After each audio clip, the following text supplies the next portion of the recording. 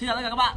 Đã quay trở lại với xe Mạnh Phát Hôm nay bên cửa hàng sẽ giới thiệu các bạn một mẫu xe đạp điện siêu hot trên thị trường là model mới nhất với những kiểu dáng thay đổi hoàn toàn, sẽ đem chúng ta một trải nghiệm hoàn toàn mới. Xin mời.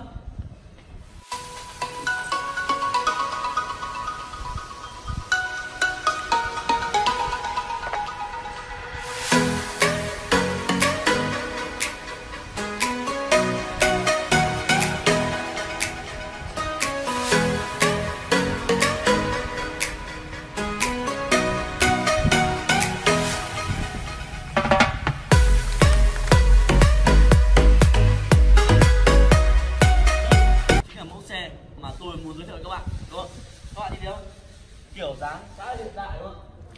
Model này hiện tại đang chuẩn bị tung ra thị trường và xe này phát đã có ngay mẫu để quay video để đánh giá các bạn về xe. Mình bật mí nhá. Cái xe này rất là ok mà giá rẻ giật mình luôn. Chúng ta cùng đi vào từng chi tiết của chiếc xe nhé. Đầu tiên, chúng ta nhìn là gì ạ?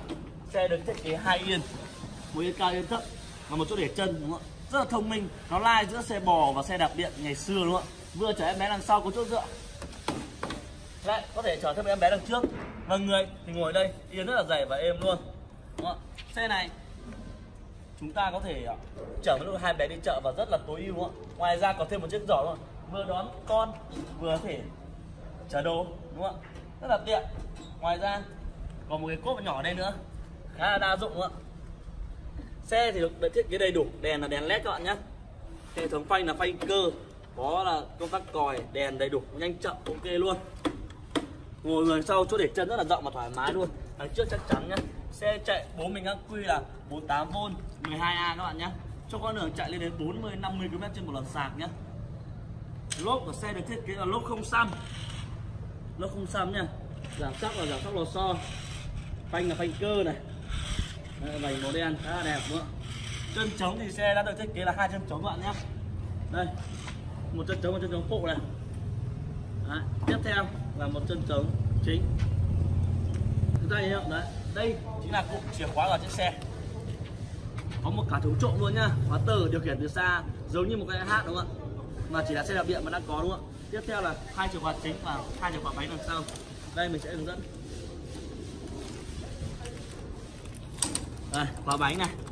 Đó, mở ra. Không cần phải mua thêm khóa chữ U và không cần phải mua thêm một phụ kiện gì.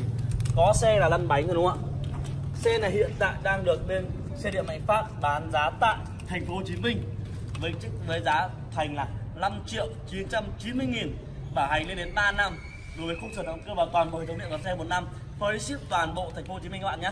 Các bạn lưu ý nhé phối ship toàn bộ thành phố Hồ Chí Minh luôn. Đấy, chỉ có xe Mạnh Phát làm được nhớ thôi ạ. Đấy. và xe hiện tại bên cửa hàng đang có hai màu màu đỏ và màu xanh. Sắp tới sẽ về thêm rất là nhiều màu nữa các bạn nhé. Các bạn hoàn toàn yên tâm và lựa chọn uh, địa chỉ bên mình để thể dinh một chiếc xe rất là đẹp nữa, giá thì vô cùng vô cùng rẻ rồi đúng không ạ? Các bạn nào có muốn mua xe thì hãy liên hệ với đấy. website xe máy phát com fanpage xe đạp điện mạnh phát facebook cá nhân là tăng văn mạnh và hotline là 085 993 1111 nếu các bạn thấy hay hãy ấn vào đăng ký và subscribe kênh của mình để theo để theo dõi những mẫu xe tiếp theo nhé chưa?